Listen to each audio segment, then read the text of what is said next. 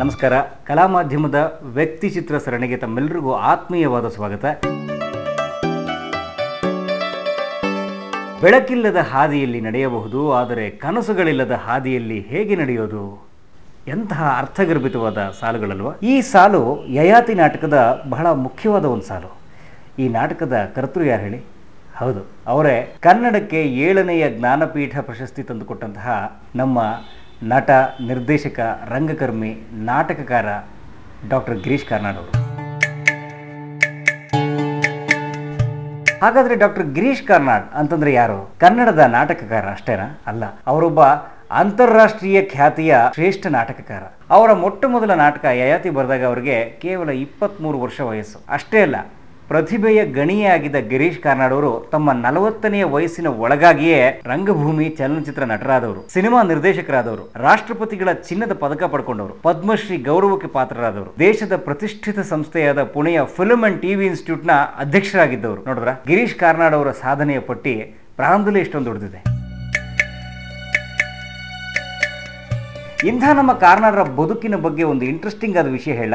ಗಿರೀಶ್ ಕಾರ್ನಾಡರು ಅವರ ತಂದೆ ತಾಯಿಗಳಿಗೆ ಬೇಡವಾದ ಕೂಸಾಗಿದ್ರಂತೆ. ಆ ಕತೆ ಹೇಳಕ್ ಮೊದಲು ಮೊದಲು ನಾನು ಗಿರೀಶ್ ಕಾರ್ನಾಡ್ ಅವರ ಹುಟ್ಟಿನ ಬಗ್ಗೆ ಹೇಳ್ಬಿಡ್ತೀನಿ. ಗಿರೀಶ್ ಕಾರ್ನಾಡ್ ಹುಟ್ಟಿದ್ದು ಅವತ್ತಿನ ಬಾಂಬೆ ಪ್ರೆಸಿಡೆನ್ಸಿಯ ಭಾಗವಾಗಿದ್ದ ಮಹಾರಾಷ್ಟ್ರದ ಮಥೇರನ್ ಅಂತನ್ನುವ ಒಂದು ಊರಿನಲ್ಲಿ. ಸಾವಿರದ ಒಂಬೈನೂರ ಮೂವತ್ತೆಂಟು ಮೇ ಹತ್ತೊಂಬತ್ತು ಕಾರ್ನಾಡ್ರು ಹುಟ್ಟಿದ ದಿವಸ. ಅವರ ತಂದೆ ರಘುನಾಥ್ ಕಾರ್ನಾಡ್ರು ಅಂತ ತಾಯಿ ಕೃಷ್ಣಬಾಯಿ. ಕಾರ್ನಾಡ್ರ ತಂದೆ ಆ ಕಾಲಕ್ಕೆ ತುಂಬಾ ಪ್ರಸಿದ್ಧ ವೈದ್ಯರಾಗಿದ್ದರು ಇಲ್ಲಿ ಗಮನಿಸಬೇಕಾದ ವಿಷಯ ಏನು ಅಂತಂದ್ರೆ ಗಿರೀಶ್ ಕಾರ್ನಾಡ್ರ ತಾಯಿ ಅಂದ್ರೆ ಕೃಷ್ಣಾಬಾಯಿ ಅವರಿಗೆ ಬಾಲ್ಯದಲ್ಲೇ ಮದುವೆಯಾಗಿ ಚಿಕ್ಕ ವಯಸ್ಸಿಗೆ ಗಂಡ ತೀರ್ಕೊಂಡು ವಿಧವೆಯಾಗಿರ್ತಾರೆ. ಆಗ ಅವರು ಆ ಸಂದರ್ಭದಲ್ಲಿ ರಘುನಾಥ್ ಕಾರ್ನಾಡ್ರ ಆಸ್ಪತ್ರೆಯಲ್ಲಿ ನರ್ಸ್ ಆಗಿ ಕೆಲಸ ಮಾಡ್ತಿದ್ದಾಗ ರಘುನಾಥ್ ಕಾರ್ನಾಡ್ರು ವಿಧವೆಯಾಗಿದ್ದ ಕೃಷ್ಣಾಬಾಯಿ ಅವ್ರನ್ನ ಮದುವೆ ಆಗ್ತಾರೆ. ಯೋಚನೆ ಮಾಡಿ, ಸುಮಾರು ಎಂಬತ್ತೈದು ವರ್ಷಗಳ ಹಿಂದೆಯೇ ವಿಧವಾ ವಿವಾಹ ಅಂತಂದ್ರೆ ಕಾರ್ನಾಡರ ತಂದೆ ತಾಯಿಗಳು ತೆಗೆದುಕೊಂಡಂತಹ ಈ ನಿರ್ಧಾರ ಎಂತಹ ಕ್ರಾಂತಿಕಾರಕ ನಿರ್ಧಾರ ಅಲ್ವಾ?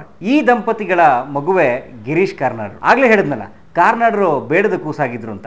ಆ ಕತೆ ಪ್ರಾರಂಭ ಆಗೋದು ಹೀಗೆ. ಗಿರೀಶ್ ಕಾರ್ನಾಡರು ತಾಯಿ ಹೋಟೆಲಿದ್ದಾಗ ಅವರ ತಂದೆ ತಾಯಿಗಳಿಗೆ ಅನ್ಸುತ್ತೆ ನಮ್ಗೆ ಈ ಮಗು ಬೇಡವೇನೋ ಅಂತ. ಹಾಗಾಗಿ ಈ ಮಗುವನ್ನ ತೆಗೆಸ್ಬಿಡೋಣ ಅಂತ ಹೇಳಿ ಅವರು ಪುಣೆಯ ಒಬ್ಬರು ಪ್ರಸಿದ್ಧ ವೈದ್ಯರ ಹತ್ರ ಹೋಗ್ತಾರೆ. ಆದರೆ ಕಾರ್ನಾಡರ ಅದೃಷ್ಟವೋ ಅಥವಾ ನಮ್ಮ ಭಾರತೀಯರ ಅದೃಷ್ಟವೋ ಅವತ್ತು ಆ ವೈದ್ಯರು ಯಾವುದೋ ಕಾರಣಕ್ಕೆ ಬಂದಿರೋದಿಲ್ಲ. ಈ ದಂಪತಿಗಳು ಸ್ವಲ್ಪ ಹೊತ್ತು ಕಾಯ್ತಾರೆ, ಕಾದು ಕಾದು ಬೇಜಾರಾಗಿ, ಇನ್ನೊಂದು ದಿವಸ ಬರೋಣ ಬಾ ಅಂತ ಹೇಳಿ ವಾಪಸ್ ಬಂದ್ಬಿಡ್ತಾರೆ. ಮತ್ತೆ ಅವ್ರು ಯಾವತ್ತೂ ಆ ವೈದ್ಯರ ಹತ್ರ ಹೋಗೋದೇ ಇಲ್ಲ. ಕಾರ್ನಾಡ್ ಹುಟ್ಟುತ್ತಾರೆ ನಮ್ಮ ಭಾರತಕ್ಕೆ ಕನ್ನಡಕ್ಕೆ ಮುಖ್ಯವಾಗಿ ಒಬ್ಬ ಶ್ರೇಷ್ಠ ನಾಟಕಕಾರ, ನಟ, ನಿರ್ದೇಶಕ ದೊರಕ್ತಾರೆ. ಮುಂದೆ ಕಾರ್ನಾಡರ ಶಿಕ್ಷಣ ಪ್ರಾರಂಭ ಆಗುತ್ತೆ. ಅವರು ತಮ್ಮ ಹೈಸ್ಕೂಲ್ ವಿದ್ಯಾಭ್ಯಾಸ ಮುಗಿಸಿ ಇಡೀ ಧಾರವಾಡಕ್ಕೆ ಪ್ರತಿಷ್ಠಿತವಾದ ಕರ್ನಾಟಕ ವಿಶ್ವವಿದ್ಯಾಲಯಕ್ಕೆ ಬರ್ತಾರೆ. ಅಲ್ಲಿ ತಮ್ಮ ಬಿ ಎ ಪದವಿಯನ್ನು ಪೂರೈಸ್ತಾರೆ. ಅದು ಇಡೀ ಯೂನಿವರ್ಸಿಟಿಗೆ ಮೊದಲಿಗೆರೆ ಆಗಲಿ ನಂತರ ಅವರು ಇಂಗ್ಲೆಂಡಿಗೆ ಹೋಗ್ತಾರೆ. ಇಂಗ್ಲೆಂಡ್ನ ಆಕ್ಸ್ಫರ್ಡ್ ಯೂನಿವರ್ಸಿಟಿಯಲ್ಲಿ ಎಂ ಎ ಪದವಿ ಮುಗಿಸ್ತಾರೆ.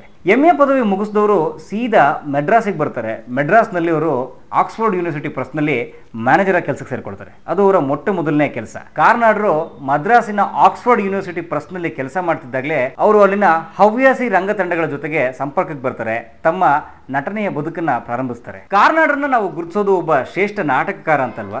ಅವರಿಗೆ ನಾಟಕದ ಆಸಕ್ತಿ ಹುಟ್ಟಿದ್ದು ಕೂಡ ಅವರ ಬಾಲ್ಯದಲ್ಲಿ ಅಂತಲೇ ಹೇಳಬೇಕು. ಹೇಗೆ ಅಂತಂದ್ರೆ, ಅವರು ತಮ್ಮ ತಂದೆಯ ಜೊತೆಗೆ ಬಾಲ್ಯದಲ್ಲೇ ಯಕ್ಷಗಾನ ನೋಡೋದಕ್ಕೆ, ನಾಟಕಗಳನ್ನ ನೋಡೋದಕ್ಕೆ ನಿರಂತರವಾಗಿ ಹೋಗ್ತಿದ್ರು. ಹೀಗೆ ಪ್ರಭಾವಿತರಾದ ಕಾರ್ನಾಡ್ರು ಬರದ ಮೊಟ್ಟ ಮೊದಲ ನಾಟಕ ನಾನು ಆಗ್ಲೇ ಹೇಳಿದಾಗೆ ಯಯಾತಿ. ಸಾವಿರದ ಒಂಬೈನೂರ ಅರವತ್ತೊಂದರಲ್ಲಿ ಈ ನಾಟಕ ಹೊರಗೆ ಬಂತು. ಕಾರ್ನಾಡ್ರಿಗೆ ತುಂಬಾ ದೊಡ್ಡ ಹೆಸರನ್ನ ತಂದುಕೊಡ್ತು. ಆದ್ರೆ ಕಾರ್ನಾಡ್ರಿಗೆ ಅಂತಾರಾಷ್ಟ್ರೀಯ ಖ್ಯಾತಿಯ ಮನ್ನಣೆ ತಂದುಕೊಟ್ಟ ನಾಟಕ ಸಾವಿರದ ಒಂಬೈನೂರ ಅರವತ್ನಾಲ್ಕರಲ್ಲಿ ಪ್ರಕಟವಾದ ತುಘಲಕ್. ಈ ನಾಟಕ ಮೊಟ್ಟ ಮೊದಲು ಕನ್ನಡದಲ್ಲಿ ನಿರ್ದೇಶನ ಮಾಡಿದವರು ಪ್ರೊಫೆಸರ್ ಚಂದ್ರಶೇಖರ್ ಅವರು. ನಂತರ ಕನ್ನಡದ ಖ್ಯಾತ ನಟ ಹಾಗೂ ನಿರ್ದೇಶಕ ಸಿ ಆರ್ ಸಿಂಹ ಅವರ ನಿರ್ದೇಶನ ಹಾಗೂ ತುಘಲಕ್ ಪಾತ್ರದ ನಟನೆಯಿಂದಾಗಿ ಈ ನಾಟಕ ಮತ್ತೊಂದು ಎತ್ತರನ ತಲುಪಿತು. ರಂಗ ದಿಗ್ಗಜ ಬಿ ವಿ ಕಾರಂತರು ಇದೇ ನಾಟಕವನ್ನು ಹಿಂದಿಗೆ ರೂಪಾಂತರ ಮಾಡಿ ಪ್ರಯೋಗ ಮಾಡಿದ್ರು. ಮುಂದೆ ಭಾರತದ ಶ್ರೇಷ್ಠ ರಂಗಕರ್ಮಿಗಳಾದ ಇಬ್ರಾಹಿಂ ಅಲ್ಕಾಜಿ ಪ್ರಸನ್ನ ಮೊದಲಾದ ರಂಗಭೂಮಿಯ ಪ್ರಮುಖರು ತುಘಲಕ್ನ ನಿರ್ದೇಶನ ಮಾಡಿದ್ದಾರೆ. ಇದರ ನಂತರ ಕಾರ್ನಾಡರು ಬರೆದ ಪ್ರತಿ ನಾಟಕವೂ ಒಂದು ಮಾಸ್ಟರ್ ಪೀಸ್ ನಾಟಕವೇ ಆಯಿತು. ಅವರಿಗೆ ತುಂಬ ದೊಡ್ಡ ಹೆಸರನ್ನ ತಂದುಕೊಡ್ತು. ಅವರು ಬರೆದ ಕೆಲವು ನಾಟಕಗಳನ್ನ ಹೇಳಬೇಕು ಅಂತಂದ್ರೆ ಹಯವದನ ಅಂಜುಮಲ್ಲಿಗೆ, ಹಿಟ್ಟಿನ ಹುಂಜ, ನಾಗಮಂಡಲ, ತಲೆದಂಡ, ಅಗ್ನಿ ಮತ್ತು ಮಳೆ, ಟಿಪ್ಪು ಕಂಡ ಕನಸು, ಒಡಕಲು ಬಿಂಬ, ಮದುವೆ ಆಲ್ಬಮ್ ಬೆಂದಕಾಳೂರು ಆನ್ ಟೋಸ್ಟ್. ಹೀಗೆ ಅವರ ನಾಟಕಗಳು ಕಾರ್ನಾಡರನ್ನ ತುಂಬಾ ದೊಡ್ಡ ಎತ್ತರಕ್ಕೆ ಏರಿಸಿದ್ವು. ಸಂಖ್ಯಾ ದೃಷ್ಟಿಯಿಂದ ಕಾರ್ನಾಡರು ಬರೆದದ್ದು ಕೆಲವೇ ನಾಟಕಗಳನ್ನಾದರೂ ಗುಣಮಟ್ಟದ ದೃಷ್ಟಿಯಿಂದ, ಮೌಲ್ಯಗಳ ದೃಷ್ಟಿಯಿಂದ ಅವು ತುಂಬಾ ಶ್ರೇಷ್ಠ ನಾಟಕಗಳ ಪಟ್ಟಿಗೆ ಸೇರ್ತವೆ. ಮತ್ತೊಂದು ವಿಶೇಷವಾದ ಸಂಗತಿ ಏನು ಅಂತಂದ್ರೆ, ನಮ್ಮ ಇಡೀ ಭಾರತೀಯ ರಂಗಭೂಮಿಯ ನಾಟಕಗಳ ಪರಂಪರೆಯಲ್ಲೇ ಅತಿ ಹೆಚ್ಚು ಭಾಷೆಗಳಿಗೆ ರೂಪಾಂತರಗೊಂಡ ಅಥವಾ ಅನುವಾದಗೊಂಡ ನಾಟಕಗಳು ನಮ್ಮ ಗಿರೀಶ್ ಕಾರ್ನಾಡ್ ಅವ್ರದ್ದೇ ನಾಟಕ ವಿಭಾಗದಲ್ಲಿ ಪಿ ಹೆಚ್ ಡಿ ಮಾಡೋರು ಅತಿ ಹೆಚ್ಚು ಸಂಶೋಧನೆ ಮಾಡಿರೋದು ಕಾರ್ನಾಡರ ನಾಟಕಗಳ ಬಗ್ಗೆ. ಇನ್ನು ನಟ ಗಿರೀಶ್ ಕಾರ್ನಾಡ್ ಅವ್ರನ್ನ ನಾವು ಗಮನಿಸೋದಾದ್ರೆ, ಯು ಆರ್ ಅನಂತಮೂರ್ತಿ ಅವರ ಕಾದಂಬರಿಯನ್ನು ಆಧರಿಸಿದ ಸಿನಿಮಾ ಸಂಸ್ಕಾರ ಅವರು ಅಭಿನಯಿಸಿದ ಮೊಟ್ಟ ಮೊದಲನೇ ಸಿನಿಮಾ. ಈ ಸಿನಿಮಾದ ಚಿತ್ರಕಥೆ ಕೂಡ ಕಾರ್ನಾಡ್ ಅವ್ರದ್ದೇ ಆಗಿತ್ತು. ಈ ಸಂಸ್ಕಾರ ಸಿನಿಮಾದ ವಿಶೇಷತೆ ಅಂತಂದ್ರೆ ಕನ್ನಡದಲ್ಲಿ ಹೊಸ ಅಲೆಯ ಚಿತ್ರಗಳ ಸಾಲಿನಲ್ಲಿ ಮೊಟ್ಟ ಮೊದಲನೇ ಸಿನಿಮಾ ಸಂಸ್ಕಾರ ಈ ಸಿನಿಮಾಗೆ ನ್ಯಾಷನಲ್ ಅವಾರ್ಡ್ ಕೂಡ ಬಂತು ಮುಂದೆ ಕಾರ್ನಾಡ್ರು ಹಲವಾರು ಸಿನಿಮಾಗಳಲ್ಲಿ ಅಭಿನಯಿಸಿದ್ರು ಕನ್ನಡವೂ ಸೇರಿದಂತೆ ಭಾರತದ ಅನೇಕ ಭಾಷೆಗಳಲ್ಲಿ ಅಭಿನಯಿಸಿದ್ರು ಈ ಕಮರ್ಷಿಯಲ್ ಆರ್ಟ್ ಅಂತ ಕರಿತೀವಲ್ಲ ಈ ಎರಡೂ ತರದ ಸಿನಿಮಾಗಳಲ್ಲಿ ಅವರು ತಮ್ಮ ಅಭಿನಯ ಚಾತುರ್ಯವನ್ನು ತೋರಿಸಿದ್ರು हाँ ये चिट्ठी अपने हेडमास्टर को दो हेडमास्टर हम्म सुनो sir I beg to inform you that my son W.S. Swaminathan of the first form A section was assaulted by his scripture master in a fanatical rage. ಕಾರ್ನಾಡ್ರು ಅಭಿನಯಿಸಿದ ಕಟ್ಟ ಕಡೆಯ ಸಿನಿಮಾ ಸಲ್ಮಾನ್ ಖಾನ್ ಹೀರೋ ಆಗಿದ್ದ Tiger Zinda Hai. ಆ cinema ನೋಡಿದ್ರೆ ಕಾರ್ನಾಡ್ರಿಗೆ ಅಭಿನಯದ ಬಗ್ಗೆ ಎಷ್ಟು ಬದ್ಧತೆ ಇತ್ತು ಅಂತ ಗೊತ್ತಾಗುತ್ತೆ. ಏನ್ ಗೊತ್ತಾ? ಕಾರ್ನಾಡ್ರಿಗೆ ಕೊನೆ ಕೊನೆಯ ದಿನಗಳಲ್ಲಿ ಉಸಿರಾಟ ತೊಂದರೆಯಿಂದಾಗಿ ಆಕ್ಸಿಜನ್ ಮಾಸ್ಕ್ ಬಳಸ್ತಿದ್ರು. ಆ ಸಿನಿಮಾದಲ್ಲಿ ಅವರು ಆಕ್ಸಿಜನ್ ಮಾಸ್ಕ್ ಸಮೇತನೇ ಆಕ್ಟ್ ಮಾಡಿದ್ದಾರೆ. ಇದಕ್ಕೆ ಕಾರಣ ಏನು? ಕಾರಣ ಇಷ್ಟೇ. ಕಾರ್ನಾಡ್ರಿಗೆ ಬದುಕಿನ ಬಗ್ಗೆ ಇದ್ದಂತಹ ತೀವ್ರತೆ ಮತ್ತು ಜೀವನ ಪ್ರೀತಿ. ಅವ್ರ ಮಾತುಗಳಲ್ಲಿ ಹೇಳೋದಾಯಿತು ಅಂತಂದರೆ, ಒಂದು ಸರ್ತಿ ಹಿಂದೂ ಪತ್ರಿಕೆಯ ಒಬ್ಬ ಪತ್ರಕರ್ತ, ಸರ್, ನೀವು ನಿಮ್ಮ ಈ ವಯಸ್ಸಿನಲ್ಲಿ ಇಷ್ಟು ಉತ್ಸಾಹ, ಲವಲವಿಕೆ ಮತ್ತು ಜೀವನ ಪ್ರೀತಿ ಜೊತೆಗೆ ಬದುಕ್ತಿದ್ದೀರಿ. ನಿಮ್ಮ ವಯಸ್ಸಿನವ್ರು ತುಂಬ ಜನ ಈಗಾಗಲೇ ಆಗೇ ಹೋದರು.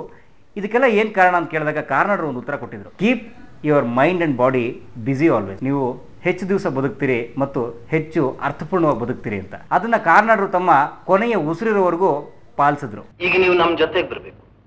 ನಮ್ಮ ಮನೆಯಲ್ಲೇ ಇರಬೇಕು. ಇನ್ನು ನಿರ್ದೇಶಕ ಕಾರ್ನಾಡ್ ಬಗ್ಗೆ ಮಾತಾಡಬೇಕು ಅಂತಂದ್ರೆ ಸಾವಿರದ ಒಂಬೈನೂರ ಎಪ್ಪತ್ತೊಂದರಲ್ಲಿ ಬಂದ ವಂಶವೃಕ್ಷ ಕಾರ್ನಾಡ್ರ ನಿರ್ದೇಶನದ ಮೊಟ್ಟ ಮೊದಲನೇ ಸಿನಿಮಾ. ಆ ಸಿನಿಮಾದ ಸ್ಪೆಷಾಲಿಟಿ ಗೊತ್ತಲ್ಲ. ನಟ ವಿಷ್ಣುವರ್ಧನ್ ಅಭಿನಯಿಸಿದ ಮೊಟ್ಟ ಮೊದಲನೇ ಸಿನಿಮಾ ವಂಶವೃಕ್ಷ. ಮುಂದೆ ಕಾರ್ನಾಡರು ಅನೇಕ ಸಿನಿಮಾಗಳನ್ನು ನಿರ್ದೇಶನ ಮಾಡಿದ್ರು. ಕಾಡು, ತಬ್ಬಲಿ ನೀನಾದೆ ಮಗನೆ, ಕಾನೂರು ಸುಬ್ಬಮ್ಮ ಹೆಗ್ಗಡತಿ, ಹೀಗೆ ಹಲವಾರು ಸಿನಿಮಾಗಳನ್ನ ಅವರು ಡೈರೆಕ್ಟ್ ಮಾಡಿದ್ರು. ಇನ್ನೂ ಒಂದು ಮುಖ್ಯವಾದ ವಿಶೇಷ ಏನು ಅಂತಂದ್ರೆ, ಒಂದಾನೊಂದು ಕಾಲದಲ್ಲಿ ಅಂತ ಒಂದು ಸಿನಿಮಾ ಅವರು ಡೈರೆಕ್ಟ್ ಮಾಡಿದ್ರು. ಆ ಸಿನಿಮಾದಲ್ಲಿ ಕನ್ನಡದ ಕರಾಟೆ ಕಿಂಗ್ ಶಂಕರ್ ನಾಗ್ ಮೊಟ್ಟ ಮೊದಲನೇ ಸರ್ತಿ ಬಣ್ಣ ಹಚ್ಚಿದರು. ಅವರು ನಿರ್ದೇಶನ ಮಾಡಿದ ಹಲವಾರು ಸಿನಿಮಾಗಳು ರಾಜ್ಯ ರಾಷ್ಟ್ರ ಅಂತಾರಾಷ್ಟ್ರೀಯ ಪ್ರಶಸ್ತಿಗಳ ಗೌರವಕ್ಕೆ ಪಾತ್ರವಾಗಿವೆ. ಸಿನಿಮಾ ಹೊರತುಪಡಿಸಿ ಅವರು ಕಿರುತೆರೆನಲ್ಲೂ ಕೂಡ ತುಂಬಾ ಅಗಾಧವಾದ ಕೆಲಸ ಮಾಡಿದ್ದಾರೆ. Good evening. This is Turning Point. Turning point ನಿಮ್ಗೆ ನೆನಪಿರಬೇಕು ಕೆಲವರಿಗೆ ದೂರದರ್ಶನ ನೋಡ್ತಿದ್ದವ್ರಿಗೆ ವಿಜ್ಞಾನದ ಕೌತುಕಗಳ ಬಗ್ಗೆ ಕಾರ್ನಾಡರು ಬಹಳ ಅದ್ಭುತವಾಗಿ ಆ ಕಾರ್ಯಕ್ರಮದಲ್ಲಿ ತಿಳಿಸ್ಕೊಡ್ತಾ ಇದ್ರು. ಬಿಂಕದಾಕೆ ಯಾರ ಕನ್ನಡದ ವರಕವಿ ಬೇಂದ್ರೆ ಇವ್ರ ಬಗ್ಗೆ ಕಾರ್ನಾಡರು ಒಂದು ಅದ್ಭುತವಾದ ಒಂದು ಡಾಕ್ಯುಮೆಂಟ್ರಿ ಮಾಡಿದ್ದಾರೆ. ಅಷ್ಟು ಮಾತ್ರ ಅಲ್ಲ ಕನಕ ಪುರಂದರ ಅಂತನ್ನುವ ಅವರ ಒಂದು ಡಾಕ್ಯುಮೆಂಟ್ರಿಗೆ ನ್ಯಾಷನಲ್ ಅವಾರ್ಡ್ ಕೂಡ ಸಿಕ್ತು. ಕಿವಿಗೊಟ್ಟು ಕೇಳುವ ಸ್ಥಿತಿ ನಿನ್ನದು. ತೇಜಸ್ವಿ ಅವರ ಚಿದಂಬರ ರಹಸ್ಯವನ್ನ ಕಾರ್ನಾಡರು ಟೆಲಿಫಿಲಂ ಆಗಿ ದೂರದರ್ಶನಕ್ಕೆ ಡೈರೆಕ್ಟ್ ಮಾಡಿಕೊಟ್ಟಿದ್ರು. ಭಾರತದ ಮಾಜಿ ರಾಷ್ಟ್ರಪತಿ ಹಾಗೂ ಶ್ರೇಷ್ಠ ವಿಜ್ಞಾನಿ doctor A P J Abdul Kalam ಅವರ ವಿಂಗ್ಸ್ ಆಫ್ ಫೈರ್ ಆಡಿಯೋ ಆಟೋಬಯೋಗ್ರಫಿಗೆ ಕಾರ್ನಾಡರು ತಮ್ಮ ಕಂಠದಾನ ಮಾಡಿದ್ದಾರೆ. ಹೀಗೆ ದೇಶ ವಿದೇಶಗಳಲ್ಲಿ ತುಂಬ ದೊಡ್ಡ ಹೆಸರು ಮಾಡಿದ ಮತ್ತು ದೇಶಕ್ಕೆ ತುಂಬ ದೊಡ್ಡ ಹೆಸರು ತಂದುಕೊಟ್ಟ ಕಾರ್ನಾಡರ ಬದುಕು ಬಹಳ ಸರಳ, ನೇರ ಮತ್ತು ನಿಷ್ಠೂರವಾಗಿತ್ತು. ಸನಾತನ ಪದ್ಧತಿಗಳು, ಸಂಪ್ರದಾಯ, ಕಟ್ಟುಪಾಡುಗಳು, ಮೌಢ್ಯ, ಕಂದಾಚಾರಗಳ ಬಗ್ಗೆ ನಂಬಿಕೆ ಕೂಡ ಇರಲಿಲ್ಲ. ಮತ್ತು ಮುಖ್ಯವಾಗಿ ಹೇಳೋದೊಂದು, ಮಾಡೋದೊಂದು, ಬರೆಯೋದೊಂದು, ಬದುಕೋದೊಂದು ಕಾರ್ನಾಡರು ಯಾವತ್ತೂ ಮಾಡಲಿಲ್ಲ. ಈ ಕಾರಣಕ್ಕೆ ಇರಬೇಕು ಅನೇಕ ಕಾಂಟ್ರವರ್ಸಿಗಳು ಕಾರ್ನಾಡರನ್ನ ಸುತ್ತುವರೆದಿದ್ದು.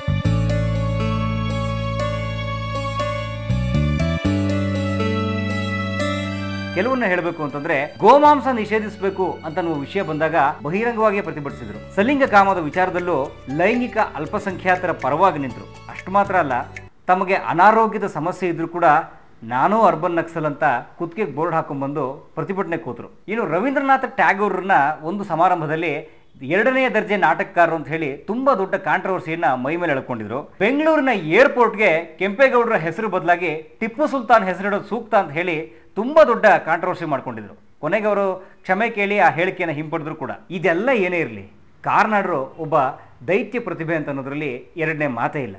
ಭಾರತದ ನಾಟಕಕಾರರಲ್ಲಿ ನಾವು ಕೆಲವರನ್ನ ಶ್ರೇಷ್ಠರು ಅಂತ ಗುರುತಿಸ್ತೇವೆ. ಬೆಂಗಾಲಿಯಲ್ಲಿ ಬಾದಲ್ ಸರ್ಕಾರ್, ಮರಾಠಿಯಲ್ಲಿ ವಿಜಯ್ ತೆಂಡೂಲ್ಕರ್, ಹಿಂದಿಯಲ್ಲಿ ಮೋಹನ್ ರಾಕೇಶ್, ಹಾಗೆ ಕನ್ನಡಕ್ಕೆ ಯಾರು? ಅವರೇ ನಮ್ಮ ಗಿರೀಶ್ ಕಾರ್ನಾಡ್. ಪದ್ಮಶ್ರೀ, ಪದ್ಮಭೂಷಣ, ಕಾಳಿದಾಸ್ ಸಮ್ಮಾನ್, ರಾಜ್ಯೋತ್ಸವ ಪ್ರಶಸ್ತಿ, ಗುಬ್ಬಿ ವೀರಣ್ಣ, ಸಾಹಿತ್ಯ ಅಕಾಡೆಮಿ ಪ್ರಶಸ್ತಿ, ಇವೆಲ್ಲ ಕಾರ್ನಾಟಕಕ್ಕೆ ಬಂದಂತಹ ಪ್ರಮುಖವಾದ ಪ್ರಶಸ್ತಿ ಪುರಸ್ಕಾರಗಳು. ಎಲ್ಲಕ್ಕಿಂತ ಮುಖ್ಯವಾದದ್ದು ಸಾವಿರದ ಒಂಬೈನೂರ ತೊಂಬತ್ತೆಂಟರಲ್ಲಿ ಬಂದಂತಹ ಜ್ಞಾನಪೀಠ ಪ್ರಶಸ್ತಿ. ಇದು ಕನ್ನಡಕ್ಕೆ ಬಂದ ಏಳನೆಯ ಜ್ಞಾನಪೀಠ ಪ್ರಶಸ್ತಿ. ನನ್ನ ರಾಜ್ಯದಲ್ಲಿ ಪ್ರತಿಯೊಂದು ಕಾರ್ಯವೂ ಪ್ರಾರ್ಥನೆಯಾಗಬೇಕು. ಪ್ರತಿಯೊಂದು ಪ್ರಾರ್ಥನೆಯು ದೇವರೆಡೆಗೆ ಒಯ್ಯುವ ಮೆಟ್ಟಿಲಾಗಬೇಕು. ಆದರೆ, ಇಲ್ಲಿ ಪ್ರಾರ್ಥನೆಗೂ ರಾಜಕಾರಣದ ಸೋಂಕು ಬಡಿದಿದೆ. ಇದು ತುಘಲಕ್ ನಾಟಕದ ಒಂದು ಪ್ರಸಿದ್ಧವಾದ ಸಾಲು. ಇದೊಂದು ಸಾಲು ಸಾಕು ಅನ್ಸುತ್ತೆ. ಕಾರ್ನಾಡರಿಗೆ ನಾಟಕ ಕಟ್ಟುವಿಕೆಯ ಅಥವಾ ನಾಟಕ ರಚನೆಯಲ್ಲಿ ಎಷ್ಟು ಹಿಡಿತಾ ಇತ್ತು ಅಂತ. ಇಂತಹ ಶ್ರೇಷ್ಠ ನಾಟಕಕಾರ, ನಟ, ನಿರ್ದೇಶಕ, ಹಲವಾರು ಪ್ರತಿಷ್ಠಿತ ಸಂಸ್ಥೆಗಳ ಅಧ್ಯಕ್ಷರಾಗಿ ದುಡಿದ ನಮ್ಮ ದೇಶದ ಕೀರ್ತಿಯನ್ನ ಅಂತಾರಾಷ್ಟ್ರೀಯ ಮಟ್ಟದಲ್ಲಿ ಹಾರಿಸಿದ ಡಾಕ್ಟರ್ ಗಿರೀಶ್ ಕಾರ್ನಾಡ್ ಅವರು ಜೂನ್ ಹತ್ತು, ಎರಡು ಸಾವಿರದ ಹತ್ತೊಂಬತ್ತರಂದು ಇಲ್ಲವಾದರು. ತಮ್ಮ ಸಾವನಲ್ಲೂ ಕೂಡ ಕಾರ್ನಾಡರು ಒಂದು ವಿಶೇಷತೆಯನ್ನು ಮೆರೆದರು. ಅದು ನಿಮ್ಗೆಲ್ರಿಗೂ ಗೊತ್ತೇ ಇರಬೇಕು. ತಾನು ಸತ್ತ ನಂತರ ಯಾವುದೇ ಧಾರ್ಮಿಕ ವಿಧಿವಿಧಾನಗಳನ್ನು ಮಾಡಕೂಡದು, ಶವದ ಮೆರವಣಿಗೆ, ವೈಭವೀಕರಣಗಳನ್ನು ಮಾಡಬಾರದು, ತಮ್ಮ ಅಂತ್ಯಕ್ರಿಯೆಯನ್ನು ಬಹಳ ಸರಳವಾಗಿ ನಡೆಸಬೇಕು ಅಂತ ತಮ್ಮ ಮಗನಿಗೆ ಕಟ್ಟಪ್ಪಣೆ ಮಾಡಿದ್ರಂತೆ. ಮತ್ತು ಆ ಕುಟುಂಬ ಹಾಗೆ ನಡ್ಕೊಳ್ತು ಕೂಡ. ಈ ನಿಟ್ಟಿನಲ್ಲೂ ಕೂಡ ಕಾರ್ನಾಡರು ಬಹಳ ವಿಶೇಷವಾಗಿ ಕಾಣ್ತಾರೆ, ಬಹಳ ದೊಡ್ಡವರಾಗಿ ಕಾಣ್ತಾರೆ. ಬೆಳಕಿಲ್ಲದ ಹಾದಿಯಲ್ಲಿ ನಡೆಯಬಹುದು, ಆದರೆ ಕನಸುಗಳಿಲ್ಲದ ಹಾದಿಯಲ್ಲಿ ಹೇಗೆ ನಡೆಯಲಿ? Keep your mind and body busy always so that ಬಹಳ ದಿವಸ ಆರೋಗ್ಯವಾಗಿ ಸಂತೋಷವಾಗಿ ಬದುಕ್ತೀರಿ ಅಂತ ಹೇಳಿದ ಕಾರ್ನಾಡರು ಅಂತೂ ಸರಿದು ಹೋದರು. ಆದರೆ ಅವರು ಹೇಳಿದ ಈ ಸಾಲುಗಳು ನಮ್ಮೆಲ್ರಿಗೂ ದಾರಿದೀಪ ಆಗಲಿ. ನಮಸ್ಕಾರ.